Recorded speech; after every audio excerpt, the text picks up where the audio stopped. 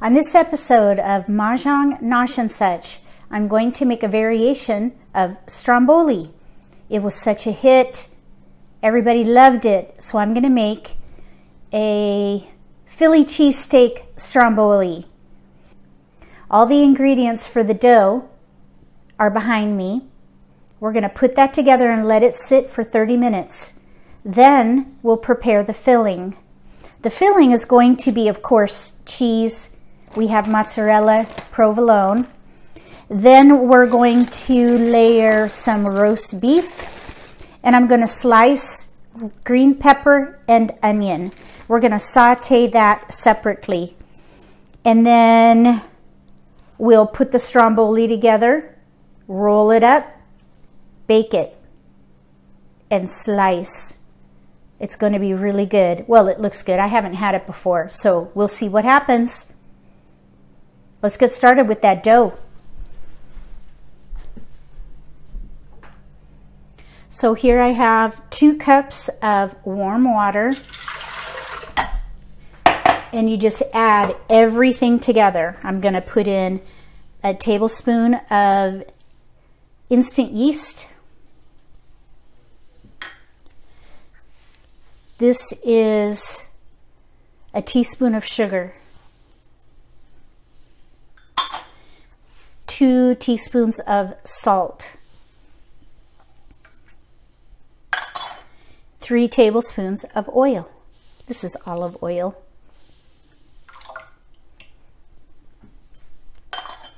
Then you add five cups of flour.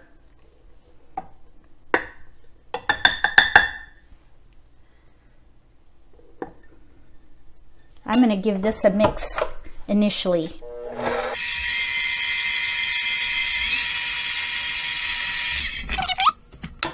Think I'll go until there's about a cup left and then I'll add it slowly because I don't want too much flour.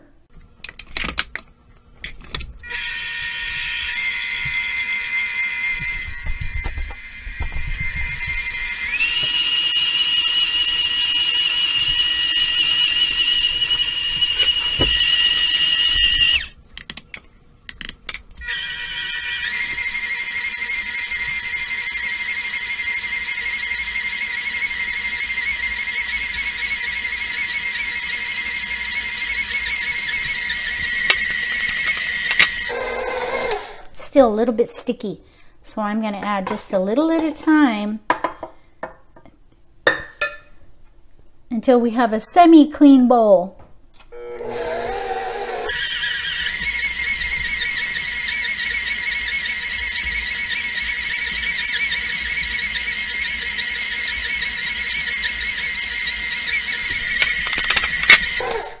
Still pretty sticky. We might need the whole five cups today.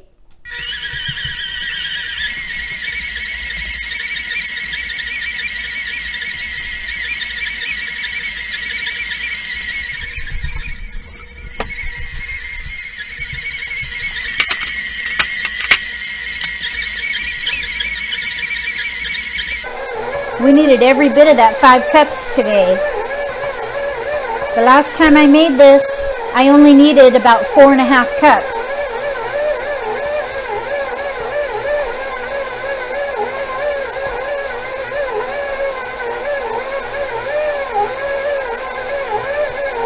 Okay, so I'm going to knead this for five minutes.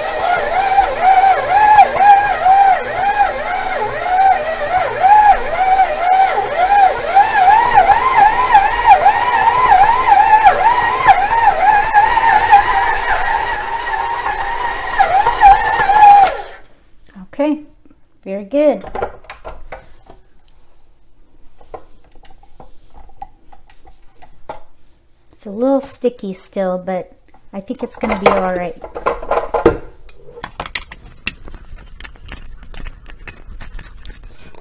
It's definitely stickier than it was before. So I'm going to work with it as it is and we'll see if it makes a difference.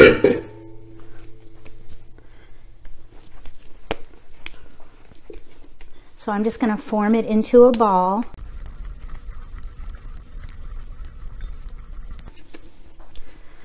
So now this is in a nice ball. I'm going to drizzle some olive oil in here and we're going to sit it out for 30 minutes covered with a towel.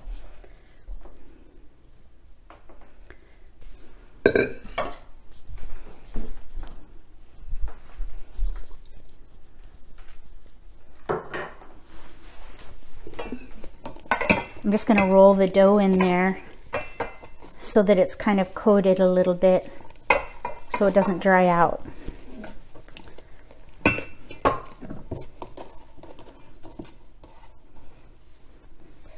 Here we go.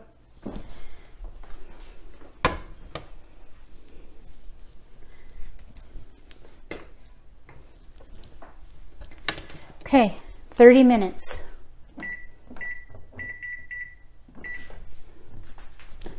While the dough is rising, I'm going to saute the veggies. So I'm going to use a half of an onion and a half of a green pepper.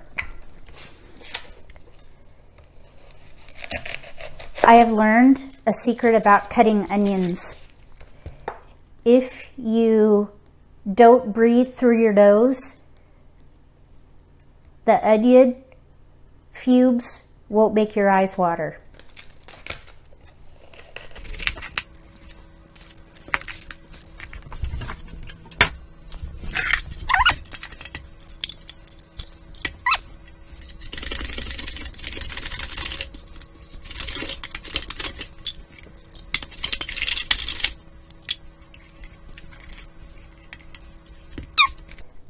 I didn't cut myself, I just pinched it in the little stand here. But it still hurt. All right, I'm gonna set that aside for a minute. I'm just gonna use probably half of these onions. And I will find another use for the rest of them. I love onions, even raw. I like them raw. So there's the onion. And now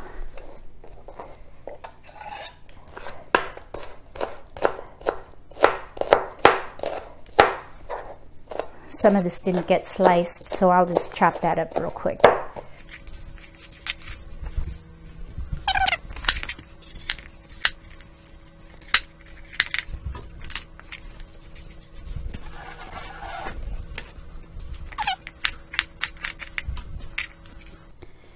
So for this, I'm just going to cut this by hand.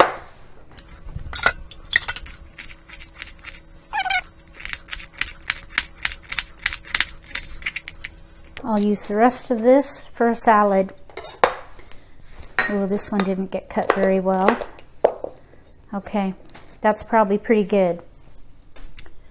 So there are the peppers and the onions. Well, maybe a little, well, no, I'm going to stop there because I think somebody doesn't really like green pepper. So I'll go light on the green pepper. Use whatever veggies you like.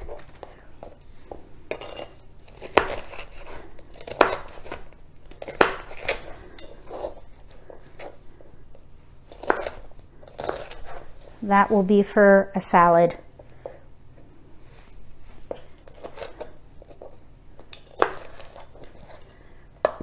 Okay, so I'm going to drizzle some olive oil in the pan and put a little bit of butter in the pan and I'll saute the onions and the green pepper until they're tender and maybe just a little bit brown.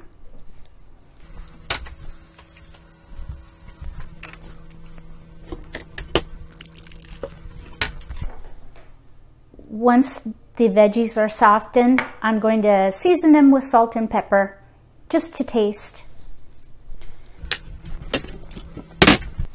I'm going to add a little of this too. Tony Chachere's. My husband likes spice. If you don't like spice, you can omit this.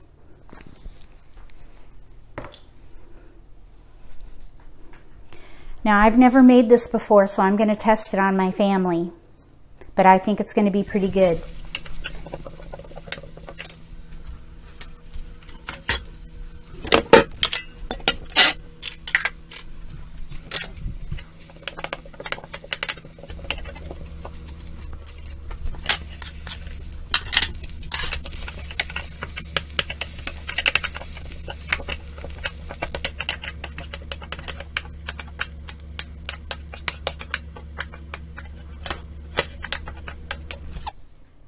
count down 10, 9, 8, 7, 6, 5, 4, 3, 2, 1.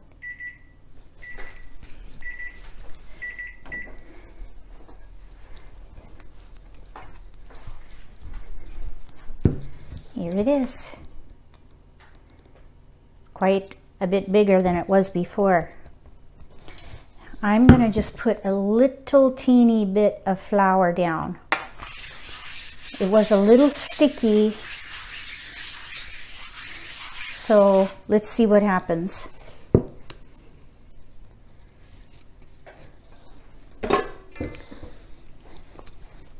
So you just want to press it out to get all the air bubbles out.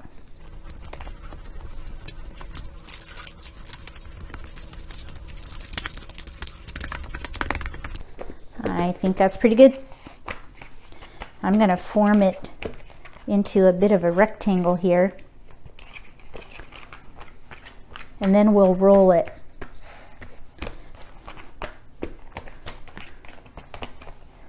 Okay.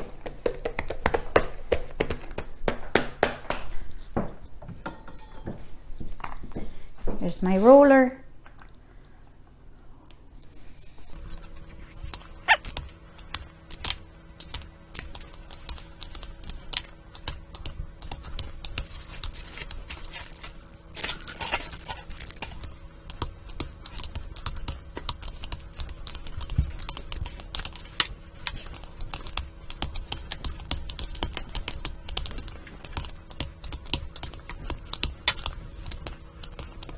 I think that's pretty good. I'm just going to square it off just a little bit.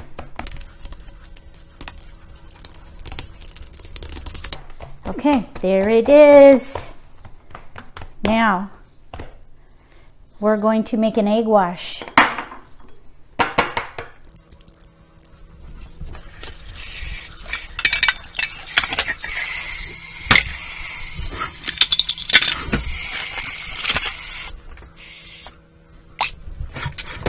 Forgot my whisk.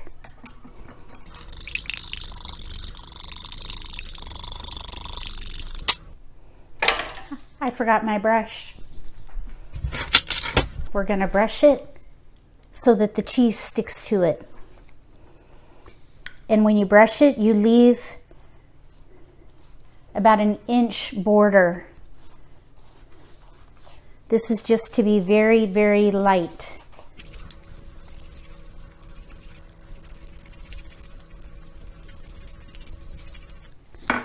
That's good. Now for the cheese.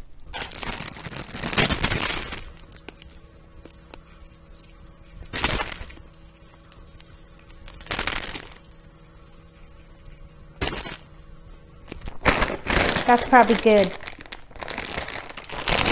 Now I want to add the roast beef. I've had my oven preheating to 350 for a little while now.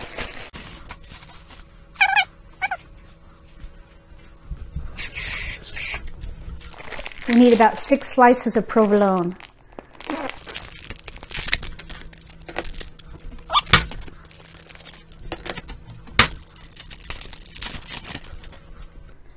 Let's see here. I'm just going to temporarily lay it down.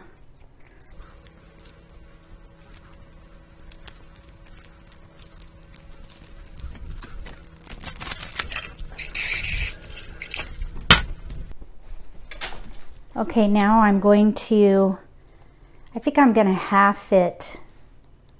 No, I'll just lay it out like this. One, two, three. Like I say, I've never made this before. Now I'm going to do more roast beef.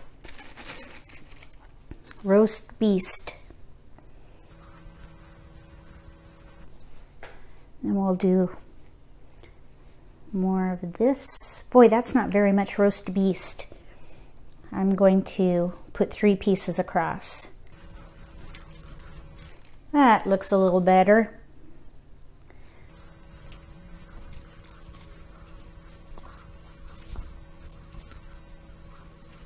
I think we'll put some extra in the very center.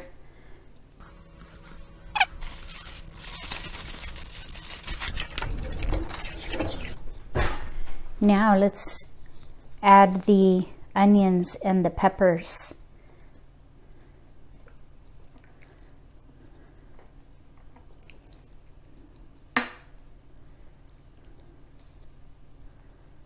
I'm kind of thinking this spoon is not going to work. I'm just going to use my fingers.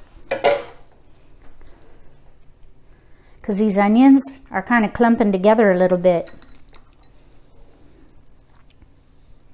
We don't want clumping. Kind of spread it around a little bit. Because that's good flavor.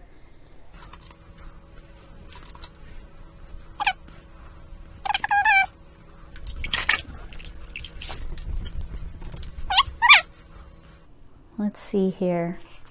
I'm kind of thinking this is a lot of dough on the edge here. I'm going to cut some of this off. Oops, pizza cutter.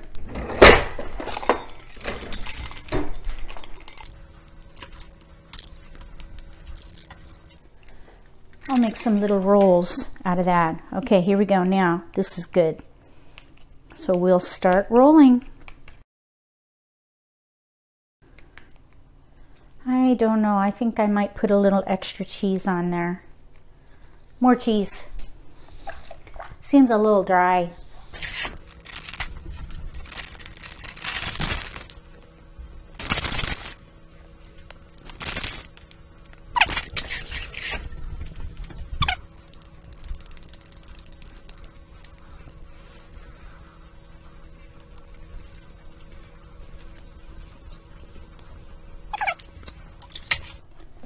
Turn this around. There we go. Now we'll lift and pinch. Lift and pinch.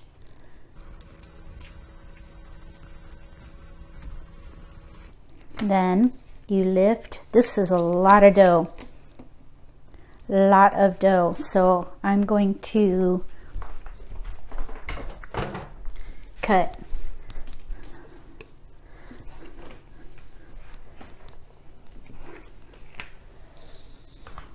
Okay, so now I will lift and poke that in there, then lift and pinch.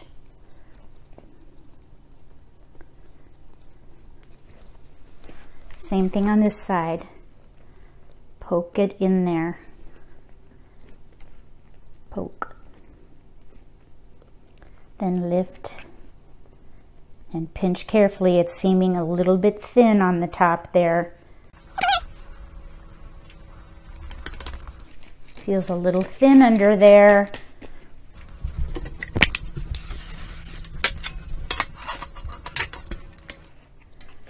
So we'll get it on the pan. Flip it kind of here. Let's see. Oh,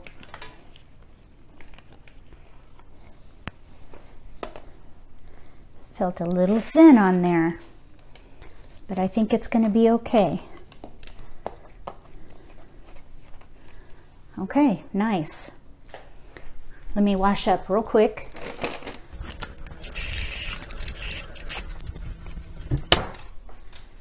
We need to cut vents, two inch vents it says, just in the top layer.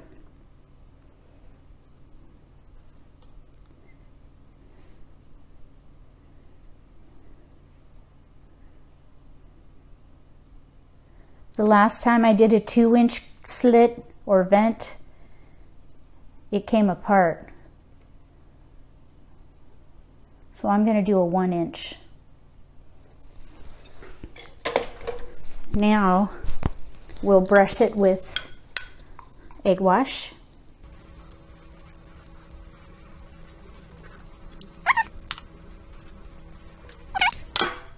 And then I want to season the top.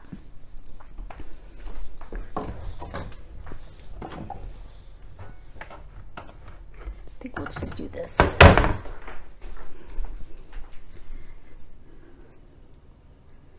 Here's a garlic and herb. Let's try that.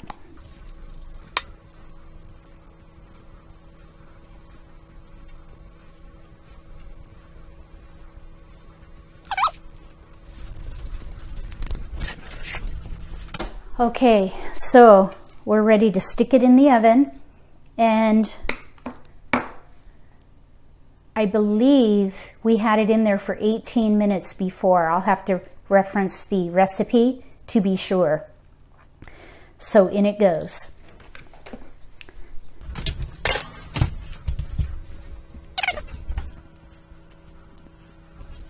Fifteen to twenty minutes.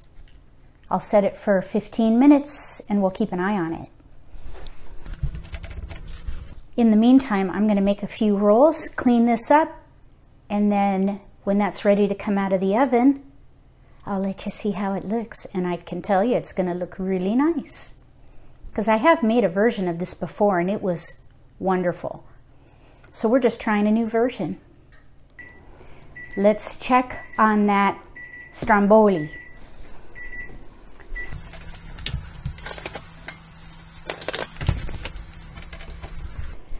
It was looking pretty light. It is sizzling a little and it's coming apart a bit on the bottom. I got to learn how to fix that. But I'm going to cook it for another 10 minutes. Keep an eye on it. It needs to be nice and browned on top. It's looking pretty doughy right now. So we'll wait another 10 15 minutes. It's starting to smell really good, so I think I'm going to take a peek at it.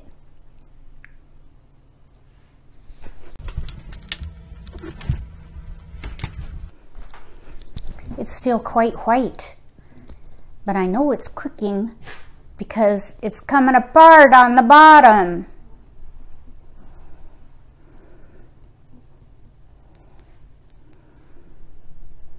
I saw another recipe where instead of rolling it like a scroll, they basically folded the back over the top and then the front that way. So almost like just a tri-fold. So next time I make it, I think I'm going to try that and see if it doesn't come apart. I don't get it. I pinched the dough.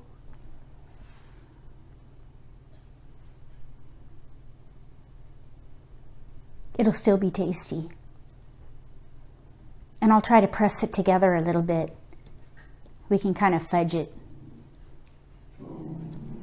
I think it's ready to come out and it's a mess.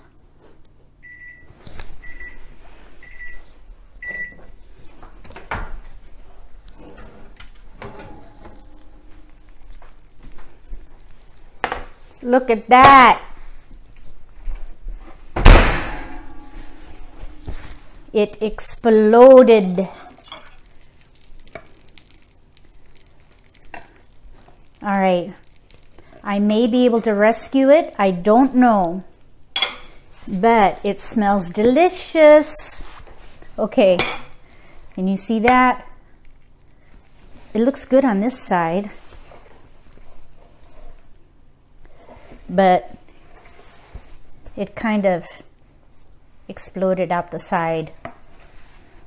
I'm going to let it sit and when it's cool, I'm going to see if I can tuck it back in.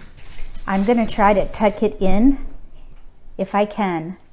Kind of lift and tuck maybe.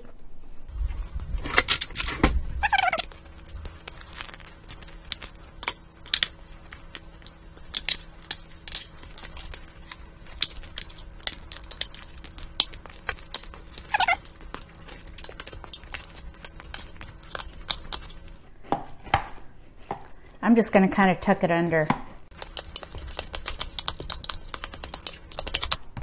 We'll see what it looks like when we cut into it.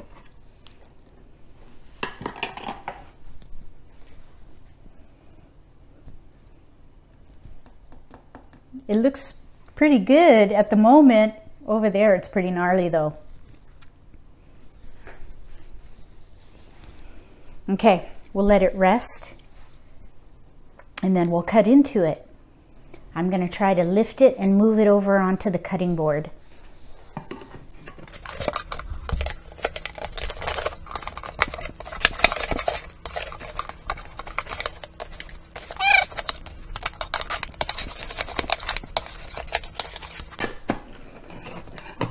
Okay, I'm going to do something a little different. I'm going to cut it right here because it's trying to break right there.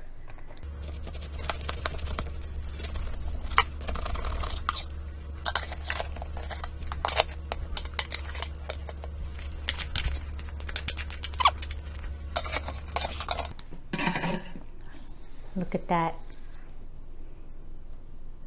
What do you think of that? That looks pretty good.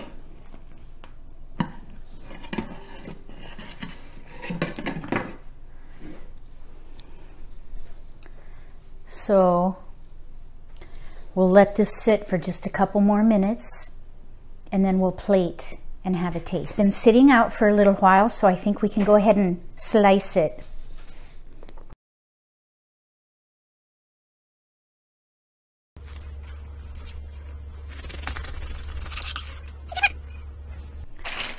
Looks pretty tasty to me.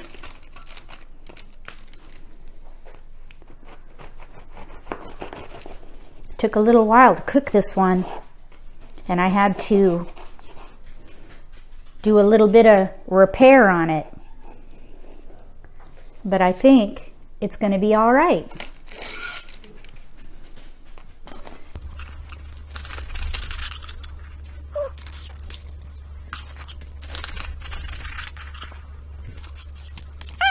It's still pretty hot in there.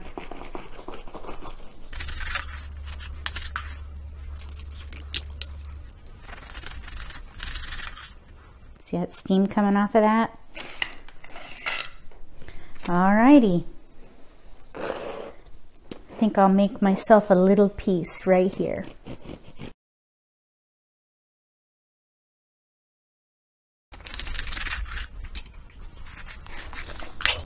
What do you think? Does that look tasty? If you like roast beef, I think you would love this. It smells delicious. Oh, it smells really good. So, here's a little taste test. I'm just going to make it a little more manageable. And of course I forgot napkins again. But this looks like a pretty good bite.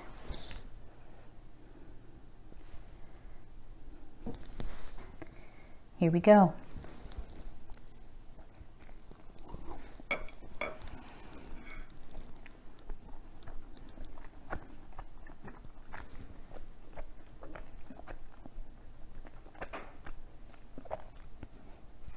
We're going to need napkins, but I'm telling you what, that is a good stromboli. Just like Philly cheesesteak.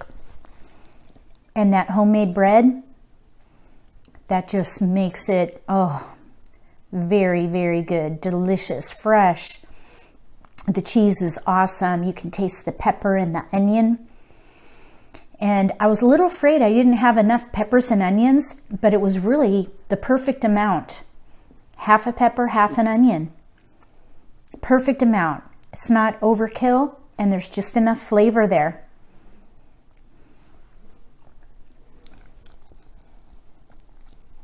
Mmm. Wow. Mmm.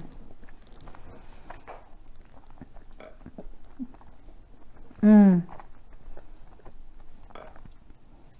The cheese kind of cooked into the bread. So it almost tastes like cheesy bread. Oh gosh, it's really, really good. Look at that bite. Cheesy goodness. Mm.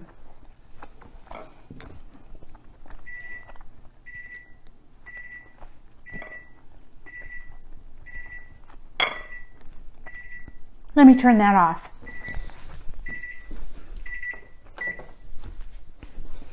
So I think this is a keeper. I just have to figure out how to keep it from coming apart. I'm not sure what to do about that. Maybe I should toothpick it or get like a big skewer and skewer it. Write in the comment section if you know how to fix that. I would love the help. I would appreciate it very much. So I think this is a keeper recipe. I would make this for Mahjong Nosh for sure. It's really, really good. Give it a try yourself and let me know what you think. If you like this video, give me a thumbs up. If you haven't subscribed to my channel yet, consider subscribing and click the bell so you get notification for when I post new videos. That way you won't miss out on any new recipes for Mahjong Nosh and such. Between now and the next episode, may all your picks be keepers.